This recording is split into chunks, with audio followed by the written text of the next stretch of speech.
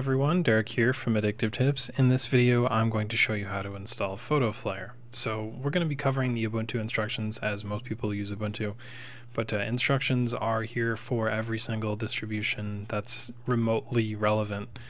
So check that out in the description of the video. But to start the installation, you're going to need to add the PPA, and you can do that by just copying this command here, and uh, it will bring up system uh, telling you what it is. You press enter, and then on newer Ubuntu systems, it will update. You may need to run the update command yourself. I always add that in there just in case because, you know, sometimes doesn't automatically update.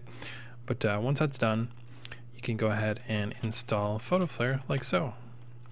And it's going to download from the repository quite easily. Uh, you know, doesn't take too much time to get going.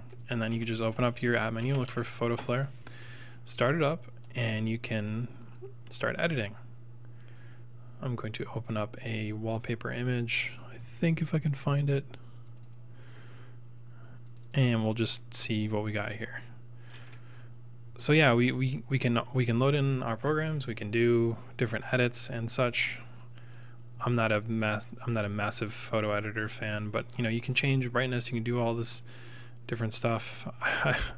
Don't really know what I'm doing, but if you were a someone who needed a good photo editor, I would highly recommend PhotoFlare just because it seems to be pretty well put together. It's pretty easy to understand, and there's lots of different controls here.